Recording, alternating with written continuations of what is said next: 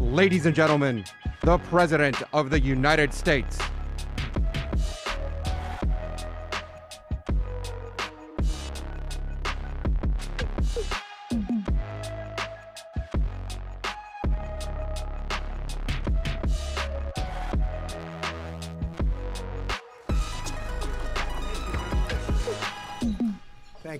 Much. It's very hot today. Please sit down.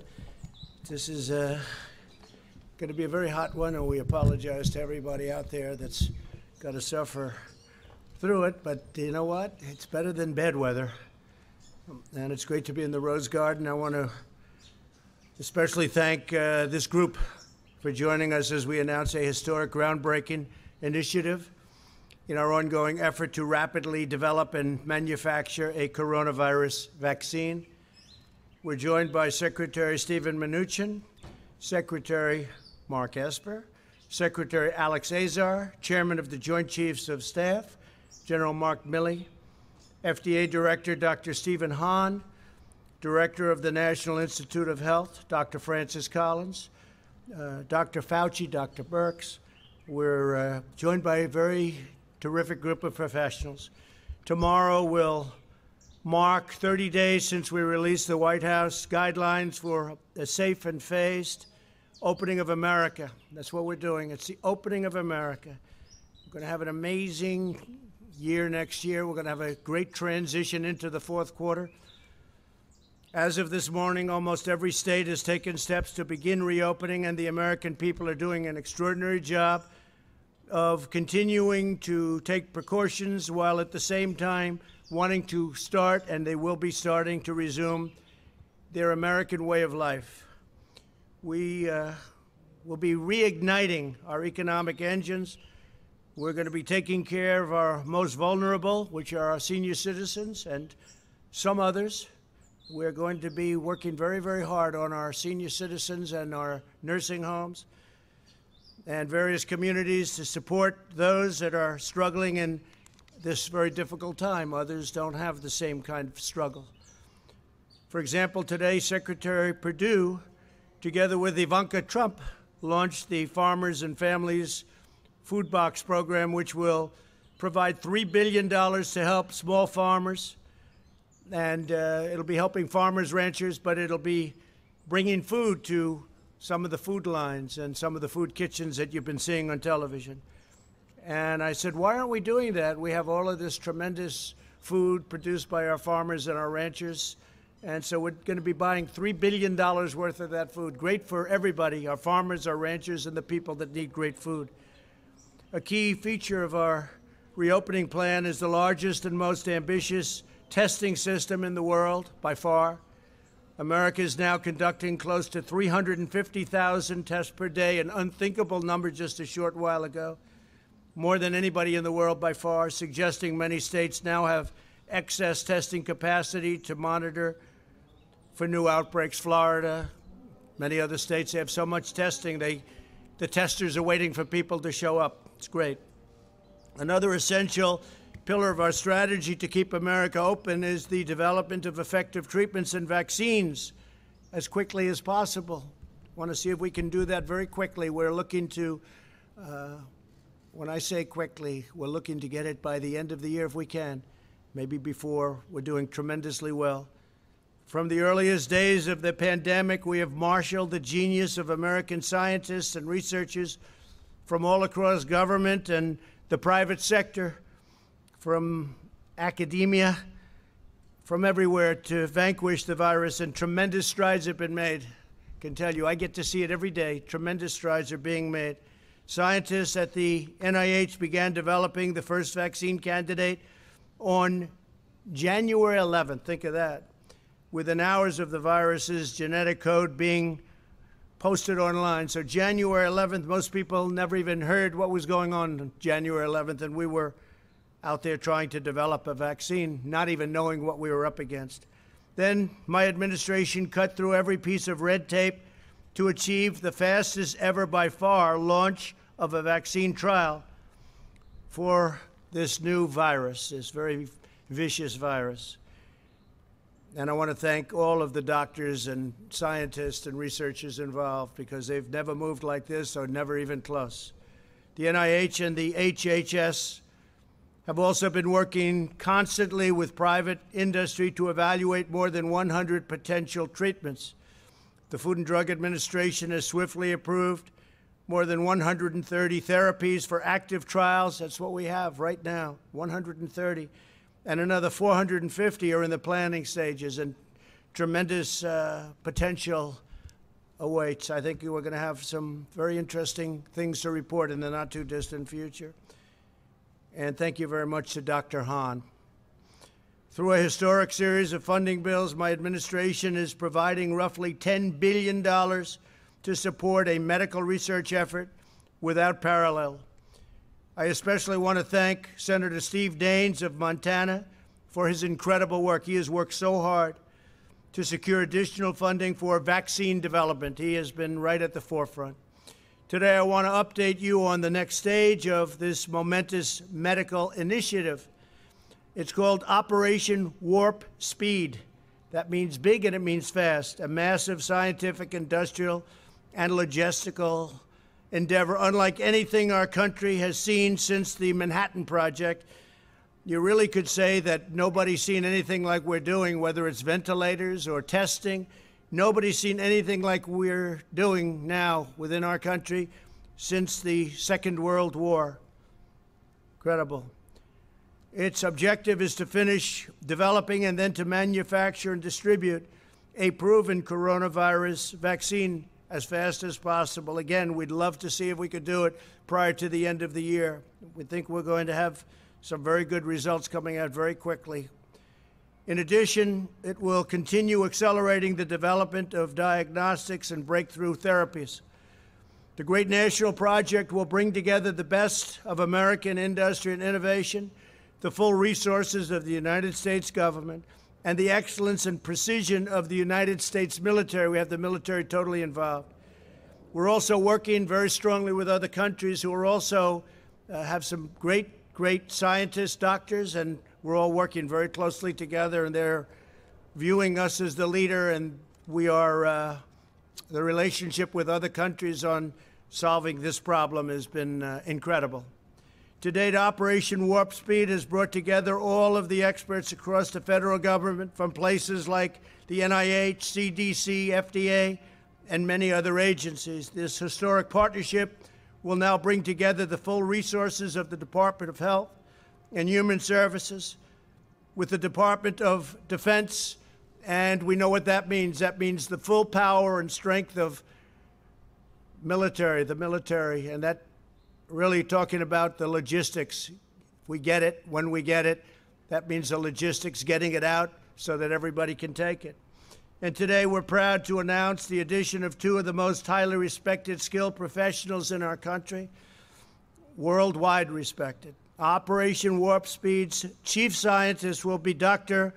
Moncef Slaoui, a world renowned immunologist who helped create 14 new vaccines.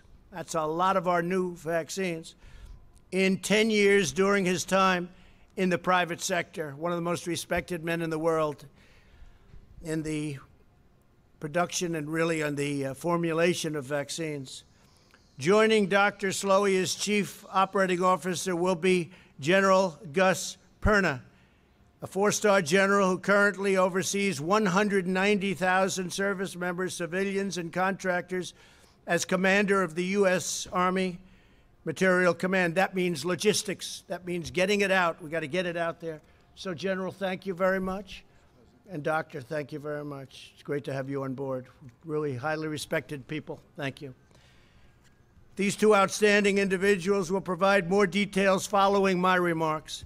In preparation for this initiative, experts throughout the government have been collaborating to evaluate roughly 100 vaccine candidates from all over the world. They have identified 14 that they believe are the most promising, and they're working to narrow that list still further. So we started off with over 100.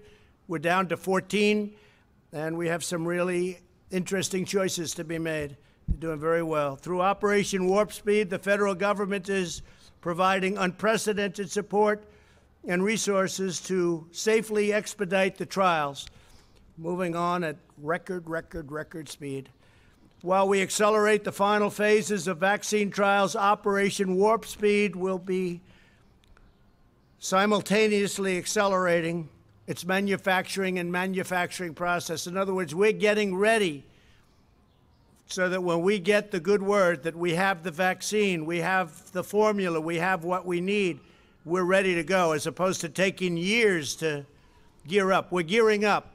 It's risky, it's expensive, but we'll be saving massive amounts of time. We'll be saving years if we do this properly, and that's what we're doing. So we're gearing up on the assumption that we'll have in the near future, relatively near future, a vaccine. Typically, pharmaceutical companies wait to manufacture a vaccine, a vaccine until it has received all of the regulatory approvals necessary, and this can delay vaccines availability to the public as much as a year and even more than that. However, our task is so urgent that under Operation Warp Speed, the federal government will invest in manufacturing all of the top vaccine candidates before they're approved. So we're knowing exactly what we're doing before they're approved. That means they better come up with a good vaccine because we're ready to deliver it. This will eliminate any unnecessary delay and enable us to begin providing Americans with a proven vaccine the day our scientists say, We're ready, we got it. And as we work to bring critical medical production back to America, these vaccines will manufacture that we're going to be focused on and manufacturing. They're all going to be right here in the USA. Now, we're working, as I said, with other people outside, and that's fine too. Uh, we want to get to the solution. We know exactly where the other countries are, and uh, we'll be very happy if they were able to do it. We'll help them with delivery. We'll help them with in every way we can. We have uh, no ego when it comes to this, no ego whatsoever. Operation Warp Speed is also making the necessary preparations to distribute these life saving treatments at scale. So we're talking about massive numbers so that millions of Americans will quickly have access to them. This includes ramping up production of supplies needed for distri- distribution. And, and I have to say, we're also very, very much involved in uh, other things other than the vaccine. If you take a look at what we're doing beyond vaccines, it's going to be very interesting, and we may talk about that in a little, in a little while. But this includes ramping up production of supplies needed for distribution, such as cold chain storage, glass vials, needles, syringes, and more. We'll have everything right on hand, ready to go. When a vaccine is ready, the U.S. government will deploy every plane, truck, and soldier required to help distribute it to the American people as quickly as possible. America is blessed to have the most brilliant, talented doctors and researchers anywhere in the world. We have the mightiest military by far in the world. Our military is completely rebuilt.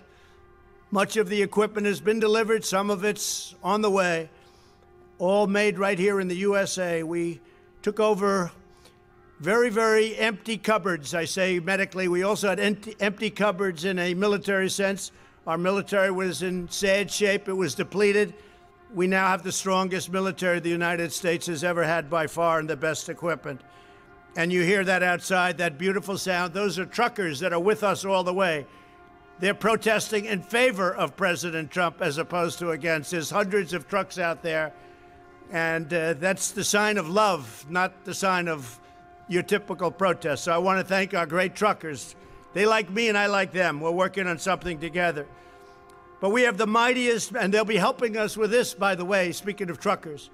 We have the mightiest military in the long history of humankind. We have the best and most devoted workers ever to walk the face of the earth.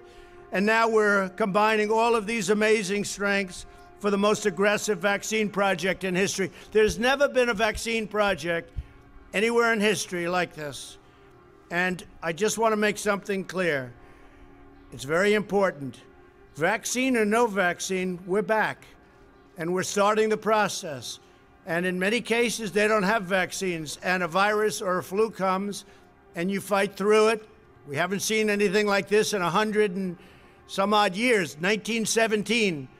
But you fight through it, and people sometimes, I guess, we don't know exactly yet, but it looks like they become immune, or at least for a short while and maybe for life. But you fight through it.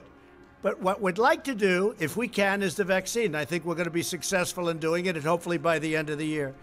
Just as generations of Americans before us faced down the most difficult trials, set their sights on the highest summit, and overcame the biggest obstacles, America will meet the moment, and this moment specifically in our time, with unrivaled speed, unmatched skill, and the unyielding spirit of the American people. Our nation will come back stronger and greater than ever. We're going to have a tremendous year next year. We're going to have a really good fourth quarter. We're going to have a very interesting and productive transition quarter where Steve is there, and I'm sure our Secretary of the Treasury, I think you feel the same way, Steve. So, and thank you for your good work, really good work. And it's not finished yet, is it? I want to thank Steve Mnuchin, everybody. Now I'd like to ask Dr. Slaoui and General Perna to come up and say a few words, followed by Secretary Azar and Secretary Esper. Thank you all very much. We're doing something that has never been done before. It's uh, going to result in a tremendous end. I think we're going to come up with a solution to a problem like this country probably has never seen before. But it's an honor to be your president. We're doing a great job. These people are doing an incredible job. The people right here, I want to thank you all. Total professionals, great men, great women. Thank you all very much. Please. Thank you, Mr. President. Uh, good afternoon, everyone. It's a great honor and privilege for me to have the opportunity to serve our country and the world uh, in uh, this uh, remarkable endeavor, extraordinary endeavor, helping them uh, and supporting them do it. The uh, Operation Warp Speed's objectives are very clear. The President has described them, and I believe they are very credible. I also believe they are extremely challenging. However, I am really confident that our team across the many governmental agencies that are involved in these efforts, the NIH, the CDC, the FDA, ASPR, and of course with the support of the Army and our partners in the private uh, sector, uh, will be able and will do the utmost to deliver these objectives. In fact, Mr. President, I have very recently uh, seen early data from a clinical trial with a coronavirus vaccine. And these data made me feel even more confident that we will be able to deliver a few hundred million doses of vaccine by the end of 2020. Uh, uh, and we will do the best we can, the best we can to do that. Thank you. We will, of course, also focus on progressing and accelerating development of medicines for those who unfortunately already caught the virus, as well as optimize the uh, diagnostic tests. This will be our focus 24-7 over the next many months. Thank, you. Thank you. Good afternoon, Mr. President. Thank you. Thank you for this great honor for allowing me to be a part of this team. I'm very excited about this team. It will be historic as we execute the mission that's been given to us. I also feel very confident that the team will be able to provide the results as directed. It is going to be a Herculean task, but the combination of the two main partners between Health and Human Services and the Department of Defense, their combined strengths, partnered with the other teammates, will ensure our success. One of the great advantages that we have as a military is our ability to do logistical and sustainment operations afar. We're just going to apply those capabilities to this mission. This mission is about defeating the enemy. We will defeat the enemy. Why? Because winning matters. And I'm excited to be a part of this team. And Mr. President, thank you. Thank you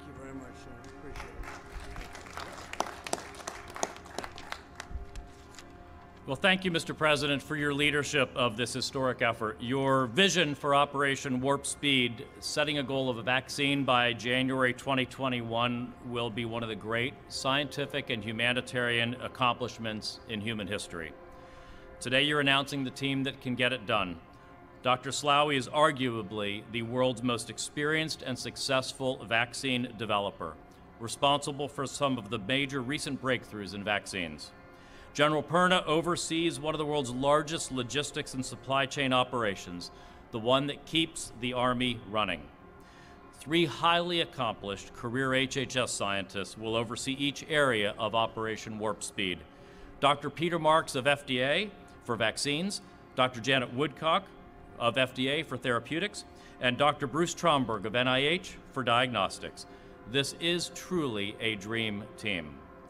We started work on each of these areas in January, and Congress has provided nearly $10 billion explicitly for this kind of research and development effort.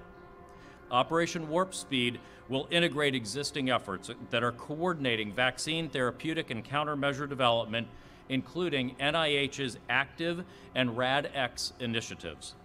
This week, HHS and DoD already announced new contracts to manufacture hundreds of millions of needle and needles and syringes here in America for distributing an eventual vaccine. Finally, the President's efforts will ensure not only that we get vaccines, therapeutics, and diagnostics faster, but that we get large donations of the eventual products so they're affordable for the American people. So thank you, Mr. President, and thank you to all of the American scientists and inventors at HHS, at DoD, and elsewhere who are hard at work already. And I really want to express my personal appreciation to Secretary Esper and the Department of Defense because this partnership is what's going to make this truly an historic endeavor. Thank you.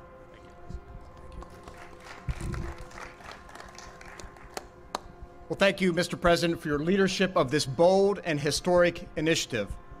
The Department of Defense is very excited and committed to working closely with our partners at HHS, across the government, and in the private sector to accomplish the mission we have been given. Winning matters, and we will deliver by the end of this year a vaccine at scale to treat the American people and our partners abroad. You know, the Department of Defense has been in this fight since day one, going back to January. We've stayed ahead of the curve every step of the way, and today, on America's streets across the nation, over 60,000 service members from all branches of the service are still out there, whether it's doctors and nurses in hospitals, whether it's National Guard on the streets of America, or the Corps of Engineers continuing to build out capacity in America's hospitals. We are there and we will be there, Mr. President, and we look forward to this next greatest phase of this fight against the coronavirus.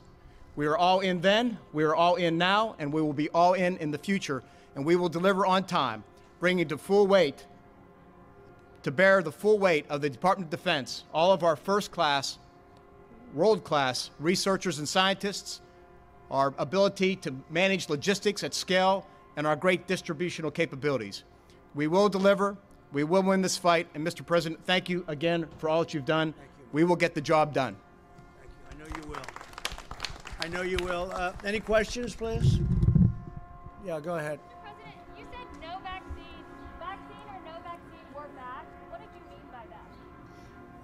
We think we're going to have a vaccine in the pretty near future, and uh, if we do, we're going to really be a, a big step ahead. And if we uh, don't, we're going to be like so many other cases where you had a problem come in, it'll go away at some point, it'll go away.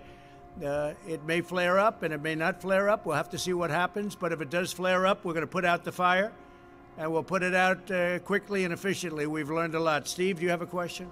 We've heard that uh, the vaccine typically would take 12 to 18 months to develop. How can you do it in a speedier fashion? What makes you think this will work? Well, they started actually, I guess you heard in January, early January, and they've been working on it. i I know so many, and private companies have been working on it. The government's been working on it. Uh, so we've got the time because we put a, a, very, and they've literally been working 24 hours a day. So we've got uh, we've got the time, and we hope to be able to do something by the end of the year or shortly thereafter. But again, you know, it's not solely vaccine based. Other things have never had a vaccine and they go away. So I don't want people to think that this is all dependent on vaccine, but a vaccine would be a tremendous thing. And I will tell you, therapeutically or therapeutics, uh, what's going on there is uh, equally as impressive. We have some things happening. You know, we have the Remdesivir from Gilead. We have uh, other things that are very good. I think that uh, a lot is happen- happening therapeutically. I can't say that it's, uh, relatively speaking, equal to what's going on with vaccines, but I think it's uh, it's doing very well, very well. So therapeutics are a big factor. Yeah, please. Is there a global competition to develop this vaccine? Like, if France develops it first, will they share it with us? Yeah, if uh, and we have that very well worked out. Whoever gets it is going to be very proud to give it and and develop it. They've developed it, and we'll see what happens. Uh, we've got countries that are allies that are. We have some countries, frankly, that aren't allies where we're working very closely together. So we're working together with many different countries, and again, we have no ego. We have no ego. Whoever gets it, we think it's great. We're going to work with them. They're going to work with us. Likewise, if we get it, we're going to be working with them. So it's very important. It's a very good question, actually. Yeah, please. Mr. President, what do you say to those business owners and other people who are really questioning the guidance that the CDC put out last night? There was a concern that it would be overly prescriptive. Now there's a concern it's not prescriptive enough. What are business owners to do? Well, I thought the guidance was very good. I've heard very good reviews on the guidance, and you know, the media will never be satisfied. If we gave you more description, that would be no good. If we gave you less, that would be no good. But I thought it was very good, and I've heard a lot of good things. Go ahead, please, Green. Do you have a problem or any concerns? Do you have any concerns about the Abbott tests, given some of the new numbers that have come out? No, Abbott's a great. Uh, it's a great test. It's a very quick test, and uh, it can always be very rapidly double checked. If you're testing positive or negative, it can always be double checked. But it's a very good uh, test. Very portable, very quick. Okay. And then what happens if China is, is the country that develops the vaccine? What happens if it's China? Will the U.S. still have access to that vaccine? Uh, I would say the answer to that would be yes. I would say the answer would be yes. Yes, go ahead, please. Do you mean a fully approved? Do you mean a fully approved vaccine for everyone? Excuse me, you're going to have to remove it. You can't hear through you. Do you mean a fully approved vaccine for the entire general public, or a partially approved vaccine for emergency use?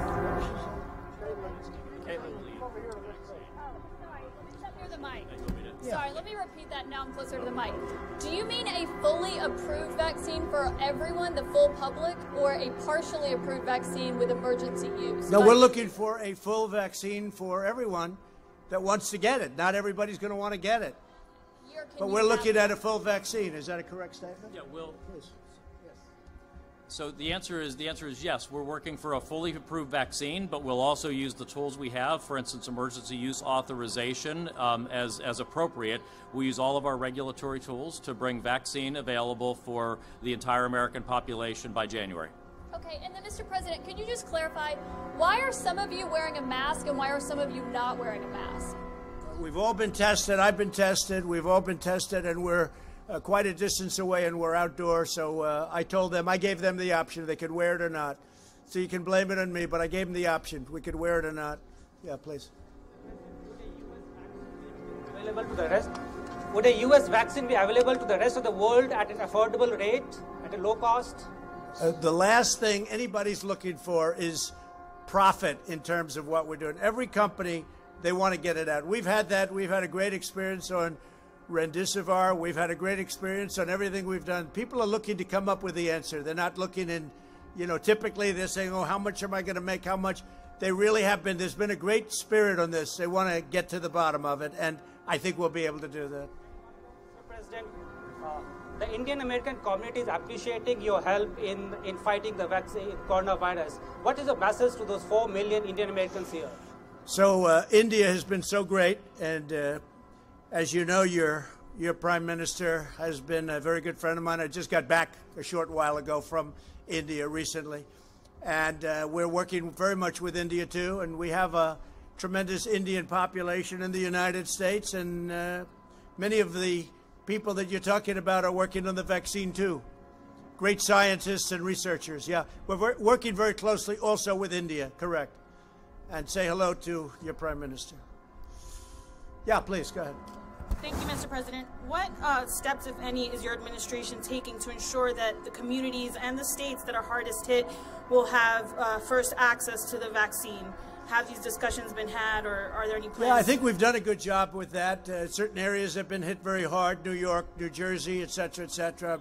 You know, working very closely with the governors. We've worked with all of the governors. We've made a lot of people look very good with what we've done on ventilators, with what we've done on testing. We're working with all of the governors. We just sent a big transit package to New Jersey. I just spoke to the governor of New Jersey, who's a, uh, a terrific person, by the way, I have to tell you, and I just told him a lot of money's coming your way for the transit. And uh, also, I spoke with the governor of New York, Governor Cuomo. We just uh, had a conversation yesterday. We're sending them a lot of transportation money, so it's important. But we've had a very good relationship working with all of the states, regardless, all of the states.